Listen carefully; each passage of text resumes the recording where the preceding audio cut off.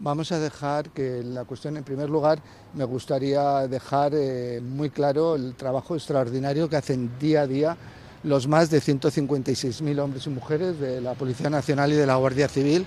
que tutelan nuestros derechos y libertades, un espacio de seguridad para todos nosotros, para que podamos ejercitar nuestros derechos y libertades. Dicho esto, se ha abierto una investigación sobre esos hechos por parte, una información reservada por parte de la Policía Nacional, pero también hemos abierto una investigación dentro de la Subdirección de Inspección de la Secretaría de Estado de Seguridad, dentro de la Oficina de Garantía de los Derechos Humanos,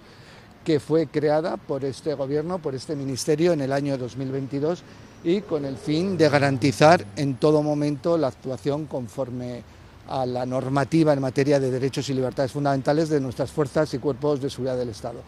se desarrollarán esas investigaciones como debe de ser y como procede y en el desarrollo de las mismas se sacarán las conclusiones necesarias que evidentemente se dará conocimiento al respecto, se os dará el conocimiento.